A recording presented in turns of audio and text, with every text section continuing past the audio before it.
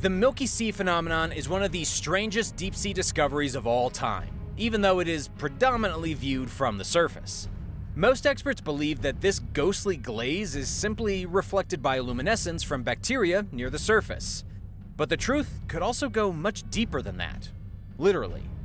Although traditional bioluminescence is mostly spotted from the shore in small patches, the Milky Sea stretches across vast patches of ocean, far from the beaches and land, and spans the depths in ways that normal bioluminescent phenomena are not capable of doing. Also, Milky Seas can be spotted from the chilly realm of outer space, which makes scientists speculate that there might be larger or deeper dwelling organisms at play. Ones that are able to generate a substantial amount of light. We know that creatures like these live mostly in the far reaches of our undersea trenches.